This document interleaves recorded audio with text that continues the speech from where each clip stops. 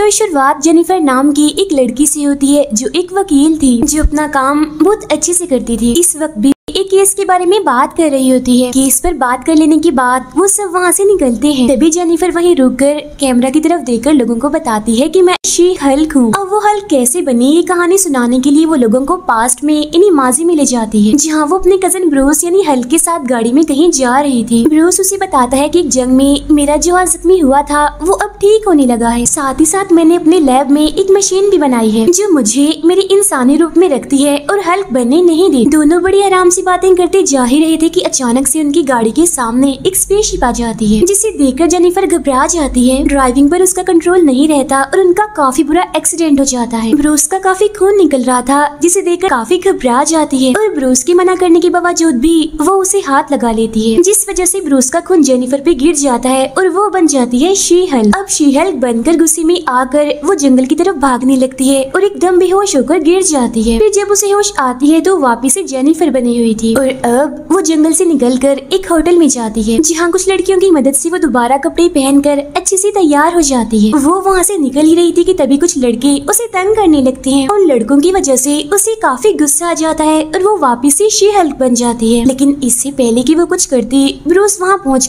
उसे अपने साथ ले जाता है। सुबह जब उसकी आँख खुलती है तो वो वापिस से जेनिफर बनी हुई थी। वो कपड़े बदल कर ब्रूस के पास उसके लैब में जाती है, जहाँ इस टाइम ब्रूस स्मार्ट हल्क की शक्ल में था। वो जेनिफर को बताता है की इस टाइम हम एक आइलैंड पर हैं और ये लैब मुझे टोनी, इन्हीं आयरन मैन ने गिफ्ट की थी। जहाँ इतने साल लोगों से छुपकर मैंने अपने हल्क वाले रूप को काबू करना सीखा। अभी मेरा पूरा ध्यान तुम्हारी ट्रेनिंग पर है, तुम्हें सिखाने पर है। लेकिन जेनिफर को तो हर हाल में वापस पहले जैसा होना था, पर इस बारे में ब्रूस उसके लिए कुछ नहीं कर सकता था, क्योंकि वो खुद इतने सालों से इस हल्क वाले रूप को झेल रहा था। और वो उसे हल्क को काबू करना सिखाना शुरू करता है और बताता है कि इसके लिए तुम्हें अपने गुस्से को काबू करना होगा, जो जेनिफर वकील होने की वजह से पहले से ही काफ़ी अच्छे से कर पा रही थी। उसे पता चलता है कि जिस चीज़ को काबू करने में उसे पंद्रह साल लग गए। वो जेनिफर बस अभी अभी हल्क बनकर बड़ी आराम से कर सकती है। ये सब जानकर ब्रोस को थोड़ी जलन तो होती है, लेकिन वो जेनिफर का हौसला बढ़ाने लगता है और कहता है कि हमें तुम्हारी ट्रेनिंग में ज़्यादा वक्त नहीं लगेगा। पर हम देखते हैं कि जेनिफर जब हल्क बनती है और सोती है तो सुबह उठने पर वो जेनिफर ही बनी होती है। एक सुबह हल्क उसे शोर करके उठा देता है, जिस वजह से उसे गुस्सा आ जाता है और वो हल्क बन जाती है और उसका बेड टूट जाता है, जहाँ हल्क उसे समझाता है कि अब तुम्हें कैसे कपड़े और बेड की ज़रूरत पड़ने वाली है। जिसके बाद वो जेनिफर को ट्रेनिंग देता है, उसे लड़ने के तरीके सिखाता है।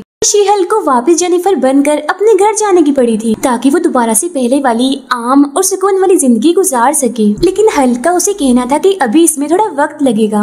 तुम्हें तब तक यहाँ रहना होगा जब तक मुझे ये तसल्ली नहीं हो जाती कि तुम आम लोगों में आसानी से जा सकती हो। इस बात से जेनिफर काफ़ी उदास थी, क्योंकि रातों रात उसकी ज़िंदगी ही बदल गई थी। तब उसका मोह ठीक करने के लिए ब्रूस उसे हल्क की ताकतों के फ़ायदे के बारे में बताने लगता है। वो कहता है की हल्क बहुत सारी शराब को एक टाइम में पी सकते हैं, जो कि एक आम इंसान के लिए करना नामुमकिन है, जिसके बाद वो दोनों बहुत सारी शराब पीते हैं। अगले दिन के ट्रेनिंग में भी जेनिफर सब कुछ बड़ी अच्छे से और आसानी से कर रही थी। वो जब चाहे जेनिफर बन जाती थी और जब चाहे हल्क वाले रूप में आ जाती थी। और ये सब करने में हल्क को सदियाँ लग गई यहाँ हम ये कह सकते हैं कि हल्क की इतनी सालों की मेहनत का जेनिफर को फ़ायदा हो गया। वरना अगर हल्क ना होता तो उसे भी बहुत मेहनत करनी पड़नी थी। वो यहाँ पर रह रहकर तंग आ चुकी थी। उसे वापस उसकी पहली वाली ज़िंदगी चाहिए थी। अभी यहाँ ब्रूस उसे समझा ही रहा था कि उन दोनों के बीच लड़ाई शुरू हो जाती है। हल्क और शी हल्का एक बड़ा ज़बरदस्त रूप देख पाते हैं। दोनों ही एक दूसरे को बराबर की टक्कर दे रहे थे। जिसमें आइलैंड तो तबाह होता ही है, साथ ही हल्का बार भी टूट जाता है, जो उसे बहुत प्यारा था। फिर जब शी हल्का गुस्सा ठंडा होता है तो वो उसे उसके साथ बार को ठीक करने के लिए कहता है, जिसे ठीक करने के बाद हल्क जेनिफर को वापस जाने की इजाज़त दे देता है। ऐसा करते हुए वो काफ़ी दुखी नज़र आ रहा था, क्योंकि एक बार फिर वो अकेला पड़ने वाला था। अगले सीन में हम प्रेजेंट इन्हीं मौजूदा वक्त में दोबारा से जेनिफर को देखते हैं, जो लोगों को ये कहानी सुनाकर कोर्ट जाती है अपना केस लड़ने के लिए। लेकिन तभी यहाँ पर एक बुरी लड़की, जो एक विलन थी, वो आ जाती है, जिसके पास सुपर पावर्स थी। वो यहाँ आते ही तबाही मचाना शुरू हो जाती है। अब जेनिफर के पास कोई रास्ता नहीं होता, इसीलिए वो शीहल्क में बदलते हुए उस विलन से लड़ती है और सभी की जान बचा लेती है। इस चक्कर में सब लोगों को उसके हल्क वाले रूप के बारे में पता चल जाता है, जिस वजह से थोड़ी ही देर में वो काफ़ी मशहूर हो जाती है। खबरों में भी उसी के बारे में बताया जा रहा था कि किस तरह शी हेल्प बनकर उसने लोगों की जान बचाई। लेकिन जेनिफर को तो ये सब बिल्कुल भी पसंद नहीं आ रहा था, क्योंकि उसे कभी भी खबरों में आने और सुपर हीरो बनने का कोई शौक नहीं था। उसे तो बस अपनी पुरानी नॉर्मल और सादा ज़िंदगी पसंद थी, क्योंकि उसका मानना था कि सुपर हीरोज की ज़िंदगी बहुत मुश्किल होती है। सुपर हीरोज बगैर पैसों की इतनी मेहनत करते हैं और लोगों की मदद करते हैं। पार्टी में जाती है, जो उसके दोस्तों ने केस जीतने और उसके शी हेल्प बनने की खुशी में रखी थी। सब लोग काफ़ी खुश थे, लेकिन तभी जेनिफर का बॉस उसके पास आकर कहता है कि मुझे तुमसे कोई बात करनी है। इसीलिए तुम शी हेल्प से जेनिफर के रूप में आ जाओ। जेनिफर के ऐसा करते ही उसका बैलेंस खराब होने की वजह से वो नीचे गिर जाती है, क्योंकि उसने बहुत सारी शराब पी ली थी, जिसका अंदाज़ा उसे हल्क वाले रूप में नहीं हो रहा था। खैर, उसका बॉस उसे कहता है कि तुम केस तो जीत गई हो, लेकिन लोगों को लग रहा है कि तुम्हें जीत शी हेल्प बनने की वजह से मिली है, क्योंकि तुमने जजेस की जान बचाई तो उन्होंने तुम्हारे हक में फैसला कर दिया। इसी वजह से इस केस को बंद कर दिया गया। अब ये होना हमारी कंपनी के लिए अच्छा नहीं, और तुम अब शी हल को, इस वजह से मैं तुम्हें नौकरी से निकाल रहा हूँ। ये सुनकर तो जेनिफर के होश उड़ जाते हैं, लेकिन खुद को संभालते हुए वो एक नई नौकरी ढूंढना शुरू करती है। लेकिन ऐसा करना उसके लिए काफ़ी मुश्किल हो रहा था। क्योंकि शी हेल्प को कोई भी नौकरी देने के लिए तैयार नहीं था। और जब मायूस होकर बैठी थी तो उसके पास उसके मॉम डैड का मैसेज आता है, जो उसे आज रात अपने साथ खाना खाने के लिए बुलाते हैं। यहाँ अपने डैड के साथ बैठकर वो अपने दिल का बोझ हल्का करती है, क्योंकि पिछले कुछ दिनों से उसकी ज़िंदगी बिल्कुल बदल चुकी थी। ये तक कह देती है कि काश उस दिन ब्रूस को मैंने वहीं मरने के लिए छोड़ दिया होता। तब शायद सब कुछ ठीक होता और मुझे ये सब कुछ झेलना न पड़ता। लेकिन उसके डैड उसे काफ़ी हौसला देते हैं। इस पर एक नई उम्मीद के साथ जेनिफर मुश्किल का सामना करने के लिए निकल जाती है। जेनिफर एक बार में होती है, जहाँ उसके पास उसी कंपनी का बॉस आता है, जिसके खिलाफ जेनिफर केस लड़ रही थी। वो जेनिफर को नौकरी देने का कहकर कल ऑफ़िस आने का कहता है, जहाँ जाने पर जेनिफर को पता चलता है कि वो लोग एक नया डिपार्टमेंट खोल रहे हैं, जहाँ उसे ऐसे इंसानों के लिए केस लड़ने होंगे, जिनके पास सुपर पावर्स हैं और जिन्हें सुपर ह्यूमंस कहा गया है। इसीलिए उसे नौकरी पर हर टाइम हल्क बनकर रहना होगा। ये सुनकर जेनिफर कैमरा की तरफ़ देखकर बोलती है कि हमेशा मुझे वही काम क्यों करना पड़ता है जो मैं करना नहीं चाहती। ये सुनकर हमें जेनिफर पर तरस भी आता है और उसकी हालत देखकर हँसी भी आती है। खैर, यहाँ उसे बताया जाता है कि तुम्हारा पहला केस अबोमिनेशन के लिए होगा। अबोमिनेशन दरअसल हल्क का बहुत बड़ा दुश्मन था, जिसने हल्क की जान लेने की भी कोशिश की थी। लेकिन हल्क ने उसे हराकर जेल में बंद करवा दिया और अब उसकी सजा पूरी होने वाली है। पर जब वो जेल से निकलेगा तो लोग बहुत शोर मचाएँगे। इसीलिए जेनिफर का बॉस उससे कहता है कि तुम उसका केस लड़ो और उसे कोर्ट में बेकसूर साबित करो। लेकिन जेनिफर ब्रूस की वजह से ऐसा करने से घबरा रही थी, जिस पर उसका बॉस उसे इस बारे में एक बार सोचने और अबोमिनेशन से मिलने को कहता है। फिर जब जेल में जेनिफर अबोमिनेशन से मिलने जाती है तो वो खुद को मासूम और बेकसूर साबित करने का कोई मौका नहीं छोड़ता। वो जेनिफर को बताता है की मैं भी एक आम इंसान था जो सुपर पावर से लोगों की मदद करना चाहता था। लेकिन गवर्नमेंट की तजर्बों की वजह से मैं एक बुरा यानी विलन बन गया और हल्क एक हीरो लेकिन अब मैं बदल चुका हूँ और वापिस से एक सुकून वाली ज़िंदगी जीना चाहता हूँ, जिसके लिए मुझे तुम्हारी मदद की ज़रूरत है। जेनिफर सोचने का टाइम मांग कर वहाँ से निकल जाती है। घर जाकर वो हल्को को फ़ोन करती है और उसे सारी बात बताकर इस केस पर काम करने की इजाज़त मांगती है, जिससे हल्क उसके ये केस लड़ने पर मान जाता है। क्योंकि उसे भी ऐसा लग रहा था कि अबोमिनेशन अब बदल चुका है। ये सुनकर जेनिफर को काफ़ी अच्छा महसूस होता है।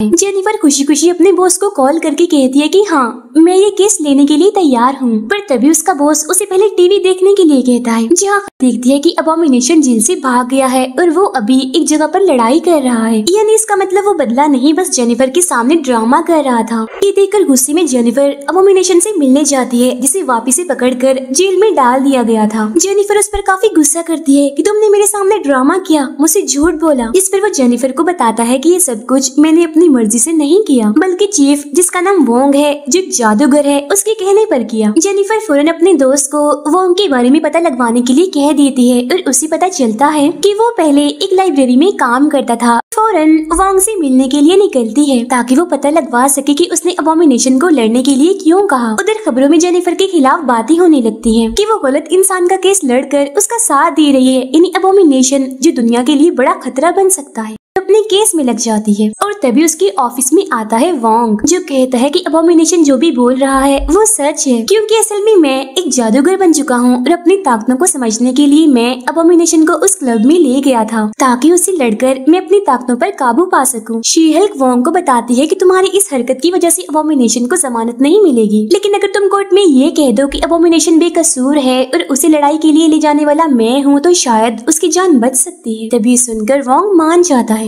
अबोमिनेशन का केस भी शुरू हो जाता है, जहाँ सारे फैसले उसके हक में होते हैं जिसको बताता है कि अब मैं अपने अबोमिनेशन वाले रूप पर काबू पा सकता हूँ। जहाँ वो सबको अबोमिनेशन बनकर भी दिखाता है। वो जेल में होता है, लेकिन फिर भी सब उससे डरने लगते हैं। ये देखकर जजेस उसे जमानत तो दे देते हैं, लेकिन उसे दोबारा अबोमिनेशन वाले रूप में आने से मना करते हैं। केस जीतने के बाद जब जेनिफर वहाँ से निकलती है तो खबरों वाले, मीडिया वाले अभी भी उसकी जान नहीं छोड़ रहे थे। कोई उसके बारे में अच्छा कह रहा था तो कोई बुरा। लेकिन जेनिफर उन पर ध्यान नहीं देती और वहाँ से भाग जाती है। ये जेनिफर का एक पुराना दोस्त सुपर ह्यूमन के ऑफ़िस में अपने एक दोस्त के खिलाफ केस लेकर आया था। उसका कहना था की मेरी दोस्त एक एल्फ है, यानी वो इंसान नहीं, बल्कि कोई और मखलूक है। उसने मेरे साथ धोखा किया, इसलिए मैं उसके खिलाफ केस करना चाहता हूँ। अगले दिन जेनिफर अपने कोलीग का भी एल्फ वाला केस जीतने में मदद करती है। और थोड़ा हौसला आने के बाद आखिरकार वो टीवी पर आ ही जाती है और अपना शीहल्क वाला रूप लोगों को दिखा ही देती है। रात को जेनिफर जब घर जा रही होती है तो कुछ लोग उस पर हमला कर देते हैं, लेकिन वो शीहल्क बनते हुए खुद को बचा लेती है। दरअसल वो लोग उसे इंजेक्शन लगाकर उसके खून का सैंपल लेने की कोशिश कर रहे थे, लेकिन शीहल्क बनने की वजह से वो इंजेक्शन टूट गया, जिससे वो बच गई। इसके बाद हम जेनिफर और उसकी कोलीग को देखते हैं, जो दोनों बहुत खुश थी और डांस कर रही होती है। वो अपनी जीत का काफ़ी मज़ा ले रही थी। अब शीहल्क का पार्ट फोर शुरू होता है और हम एक जादूगर को देखते हैं, जो अपना एक शो चला रहा था और छोटे छोटे जादू करके दिखा रहा था। हर कोई बैठा, उसकी बेकार से जादू को देखकर बोर हो रहा था। और तभी वो उन लोगों को अपने शो का सबसे बड़ा जादू दिखाने वाला होता है, जिसके लिए वो लोगों में से ही एक लड़की को बुलाता है, जिसका नाम मेडिसन होता है। उस लड़की ने बहुत सारी शराब पी हुई थी, जिस वजह से वो काफ़ी नशे में थी। लेकिन तभी वो जादूगर एक अजीब सी अंगूठी पहनकर एक पोर्टल यानी एक दूसरा रास्ता खोल देता है, जहाँ गलती से वो लड़की इन मेडिसिन उसमें चली जाती है। फिर हम कहीं और का सीन देखते हैं, जहाँ वोंग बैठकर अपना सबसे पसंदीदा शो देख रहा था। वो काफ़ी इंजॉय कर रहा था, काफ़ी मस्ती में था वो। लेकिन तभी यहाँ उस रास्ते के ज़रिए ट्रांसफ़र होकर मेडिसिन पहुँच जाती है। तो वोंग उससे पूछता है की, तुम्हें किसी सरफिरी जादूगर ने पोर्टल यानी एक रास्ते के ज़रिए तो नहीं यहाँ भेजा? जिस पर वो कहती है की हाँ उसने मुझे भेजा तो उसी रास्ते के ज़रिए ही है, लेकिन मैं वहाँ से अपनी जान बचा कर यहाँ आई हूँ। तो वोंग उसे पूछता है की, आखिर वहाँ पर हुआ क्या था? कहती है कि किसी को मैंने अपने खून के छह कतरे दिए, जिसके बदले में उसने मुझे जलते हुए लावे के कुएँ से बचाया। ये सुनकर वोंग बहुत ज़्यादा गुस्सा हो जाता है और अब उस पागल जादूगर के खिलाफ कार्रवाई करने का सोचता है। अब हम जेनिफर और उसके फादर को देखते हैं, जहाँ जेनिफर के डैड अपनी बेटी की हिफाजत के लिए कुछ कैमराज हथियार और एक बेलचा लाए होते हैं। वो उससे कहते हैं की कल रात तुम पर चार गुंडों ने हमला कर दिया, जिस वजह से मुझे काफ़ी परेशानी हुई और मुझे तुम्हारी हिफाजत के लिए कुछ तो करना ही था। जिस पर जेनिफर कहती है की डैड, आप जानते हैं ना कि मैं शी हल्क हूँ और मेरी ताकत का अंदाज़ा न बाकी लोगों को है और न फ़िलहाल आपको है। अब बिल्कुल भी टेंशन मत लीजिए। मैं अपनी हिफाजत कर सकती हूँ और सब कुछ पहले जैसा नॉर्मल भी कर दूँगी। अब ऑफ़िस पहुँचने पर जेनिफर अपनी दोस्त से बातें कर रही थी। तभी उसकी दोस्त पूछती है कि जेनिफर, आखिर तुम्हारी ज़िंदगी में चल क्या रहा है? क्या तुम इस बोरियत भरी ज़िंदगी से परेशान नहीं हो? चलो तुम्हारी बोरियत दूर करने के लिए इंटरनेट की एक साइट पर तुम्हारी प्रोफ़ाइल बना देती हूँ, यानी तुम्हारा अकाउंट। और वो साइट ऐसी है जिसके ज़रिए लोग एक दूसरे से मिलते हैं और अपनी शादी के लिए लड़का या फिर लड़के ढूंढते हैं। लेकिन तभी यहाँ पर वोंग आ जाता है और कहता है कि एक सरपिरा फजूल सा जादूगर है, जो एक पोर्टल को, एक रास्ते को बगैर किसी की इजाज़त, बगैर किसी लाइसेंस के इस्तेमाल कर रहा है, जो गैर कानूनी है। मैं चाहता हूँ की ऐसे लोगों के खिलाफ कोई कार्रवाई की जाए, इस तरह की गलत चीज़ों को रोका जाए। क्यूँकी अगर इस तरह के काम रुकेंगे नहीं तो हमारी दुनिया में दूसरी दुनिया के खतरनाक जानवर और क्रिएचर आ जा सकते हैं, और इससे पूरी इंसानियत को खतरा है। ये सुनकर जेनिफर उससे पूछती है कि आपके पास कोई एग्रीमेंट है? जैसे गवर्नमेंट की तरफ़ से कोई एग्रीमेंट कोई नोटिस या फिर कोई पेपर जिस पर मैं कार्रवाई कर सकूँ? क्योंकि अगर हम जज के सामने बगैर किसी पेपर के गए तो वो तो हमें कोर्ट में खड़ा भी नहीं होने देंगे। वो कहता है कि ऐसा कुछ तो नहीं है, लेकिन मेरे पास गवाह ज़रूर है। जो ये बता सकते हैं की उस जादूगर ने ये हरकतें सचमुच की है। ये कहकर वो जाने लगता है। तब जेनिफर उससे कहती है की इस बार अपना कोई नाम पता कुछ तो दीजिए, जिस पर वो जादू ऐसी एक कार्ड उसे देता है और कहता है की इस पर कॉल कर देना, मैं फ़ौरन आ जाऊँगा। फिर शाम को जब जेनिफर उसकी दोस्त एक बार में बैठे थे तो उसकी दोस्त जेनिफर का मोबाइल लेकर बहुत सारे लोगों को मैसेज कर देती है मिलने के लिए। लेकिन कोई भी उससे मिलना नहीं चाहता था। तब ये देखकर उसकी दोस्त कहती है कि क्यों ना तुम अपनी प्रोफ़ाइल शिहल के नाम से बना लो और फिर देखना कैसे लोग तुमसे मिलने के लिए तुम्हारे पास आते हैं। लेकिन फ़िलहाल वो ना कुछ कहती है और ना ऐसा कुछ करती है। फिर हम उसी सरफिरी जादूगर को उसके ऑफ़िस में देखते हैं, जहाँ पर वोंग और जेनिफर भी थे, जो उसे बास आ जाने के लिए एक नोटिस देते हैं और कहते हैं कि अब से तुम कोई भी किसी भी किस्म का जादू नहीं करोगे, क्योंकि इसे इंसानी दुनिया पर बहुत बड़ा खतरा आ सकता है। इसका तुम्हें अंदाज़ा भी नहीं। लेकिन वो जादूगर उनकी बात नहीं मानता और कहता है कि इसके लिए मैं तुम्हें कोर्ट में घसीट सकता हूँ। जिस पर जेनिफर कहती है तो ठीक है, फिर मेरी तुमसे मुलाकात अब कोर्ट में ही होगी। अब यहाँ वोंग और वो जादूगर एक दूसरे के साथ काफ़ी अलग अलग हंसाने वाले जादू कर रहे थे। अब जेनिफर एक लड़के से मिलने पहुँचती है। काफ़ी सारे अलग अलग लड़कों से मिलने और बात करने पर उसे कोई भी अपने जैसा नहीं मिलता, जिसके बाद अगले दिन कोर्ट में गवाहों को बुलाया जाता है। जहाँ जज उन्हें बताती है कि अगर आपके पास कोई गवाह या फिर कोई सबूत नहीं है तो हम इस केस को यहीं रोक देंगे। तब वो जादू करके मेडिसन को यहाँ बुला लेता है, जो कहती है कि हाँ उस जादूगर ने मुझे गायब तो किया था, लेकिन मैं एक ऐसी जगह पर पहुँच गई थी जिसका ज़िक्र मैं नहीं कर सकती, क्योंकि मैंने वादा किया था किसी के साथ कि इस बात को मैं राज रखूँगी और किसी को नहीं बताऊँगी। इसीलिए इस राज को खुफिया ही रहने दे, मैं नहीं बता सकती आपको। अब क्योंकि यहाँ पर जज को कुछ भी समझ नहीं आ रही थी, इसीलिए वो इस केस को अगले हफ़्ते पर रख देती है। फिर जब जेनिफर घर थी तो वो काफ़ी बोर हो रही थी। अपनी प्रोफ़ाइल को जेनिफर से शी हेल्प में बदल देती है। और बस, फिर वही होता है जैसा उसके दोस्त ने कहा था। एक के बाद एक लड़के के मैसेज आने लगते हैं शी हेल्प से मिलने के लिए। अब हम उसी जादूगर को उसके शो में देखते हैं, जहाँ वो एक और लड़की को बिल्कुल पहले की तरह पोर्टल के ज़रिए गायब करने वाला था। लेकिन वो लड़की उसे ऐसा करने से मना कर देती है और कहती है कि पिछली बार तुमने मेरे जिस दोस्त को गायब किया था, वो अभी तक नहीं आई। इसीलिए मैं तुम्हारी बातों में नहीं आने वाली। तब ये सुनकर वो जादूगर किसी और जगह पर पोर्टल बना देता है, जहाँ से एक परिंदा बाहर आता है और उस लड़की के हाथ में अंडा दे देता है। और जब वो अंडा फूटता है तो उसके अंदर से एक क्रिएचर निकलता है। ये देखकर सभी लोग काफ़ी हैरान हो जाते हैं। तब वो जादूगर एक और बड़ा सा पोर्टल खोल कर उसे अंदर भेजने की कोशिश करता है, क्योंकि वो छोटा सा क्रिएचर अब देखते ही देखते बड़ा होता जा रहा था। अब जादूगर के हिसाब से सब कुछ ठीक हो जाना चाहिए था, लेकिन ये उसकी सबसे बड़ी भूल थी, क्योंकि तभी उस पोर्टल से बिल्कुल वैसे ही और बहुत सारे क्रिएचर्स निकलकर बाहर, यानी हमारी दुनिया में आने लगते हैं और हर जगह पर तबाही मचाने लगते हैं। अब क्योंकि वोंग भी एक जादूगर था, इसलिए इस जादूगर के पास वोंग से मदद के अलावा और कोई रास्ता नहीं था। इसीलिए ये उसे बुला लेता है और अब ना चाहते हुए भी वोंग को इस लड़ाई में उतरना ही पड़ता है। उधर शेहल्क लड़के से मिलने के लिए पहुँच चुकी थी, जहाँ अब की बार भी वो काफ़ी सारे लोगों से मिलती है, जहाँ कुछ तो उससे ये भी कहते हैं कि हमने बहुत सारा वज़न उठाया है एक टाइम में। तुम ज़्यादा से ज़्यादा कितना उठा लेती हो? इस पर वो कहती है कि हाँ आराम से एक दो टन तो उठा ही लेती हूँ। अब इन्हीं लोगों में आखिरकार उसे एक लड़का पसंद आ ही जाता है, जो एक डॉक्टर था। शीहल्क उसे अपने घर ले जाती है। लेकिन उनकी कोई बात करने से पहले ही वोंग यहाँ पर पहुँच जाता है और कहता है कि जेनिफर मुझे तुम्हारी मदद की ज़रूरत है, इसीलिए जल्दी करो, मेरे साथ चलो। और वोंग जेनिफर इन्हीं शीहल्क को वहीं ले जाता है, जहाँ वो क्रिएचर्स तबाही मचा रहे थे। और उस पोर्टल से अब भी एक के बाद एक वो क्रिएचर्स बाहर आ रहे थे। तब यहाँ जेनिफर वोंग से पूछती है कि, आखिर मुझे करना क्या है? जिस पर वोंग कहता है कि, मैं एक और पोर्टल खोलता हूँ, बस एक एक करके इन्हें दूसरी दुनिया में फेंकती जाऊँ। अब यहाँ खास बात ये थी कि इन क्रिएचर्स को मारने से इनका साइज़ और बड़ा हो रहा था। लेकिन फिर भी वोंग जादुई रस्सी बनाकर सभी क्रिएचर्स को उसे लपेट लपेट कर दूसरी दुनिया में फेंक देता है और वहाँ का दरवाज़ा बंद कर देता है। जिसके बाद जेनिफर दोबारा से अपने घर आ जाती है, जहाँ वो लड़का उसका इंतज़ार कर रहा था। अब ऐसे ही रात हो जाती है। फिर अगली सुबह जब वो लड़का जेनिफर को उसके असली रूप में देखता है तो सोचता है, ओह, ये कौन है? जिसके बाद वो यहाँ से जाने का सोचता है, क्योंकि उसे तो सिर्फ़ शीहल की पसंद आई थी। तभी उसके दरवाजे पर एक आदमी नोटिस देने के लिए आता है। जब जेनिफर उसे खोलती है तो देखती है कि एक लड़की ने उसे ये नोटिस भेजा है। जिस पर लिखा हुआ था कि शीहल्क नाम पहले मैंने चुना था। यानी ये मेरा नाम है। मेरी इस नाम की प्रोफ़ाइल भी है रजिस्टर भी है ये नाम। लेकिन अब तुमने मेरे इस नाम को चुराया है तो इसीलिए अब तुम पर केस होगा। इसके बाद हम देखते हैं मेडिसन को, जो वोंग के साथ बैठी होती है। और वोंग का नाम अजीब तरीके से ले रही थी। दोनों ही आपस में अलग अलग किस्म की शराब की बातें कर रहे होते हैं। इस सीरीज़ की बाकी पार्ट्स हम तब अपलोड करेंगे, जब वो रिलीज़ हो जाएँगे। तब तक के लिए goodbye thank you for watching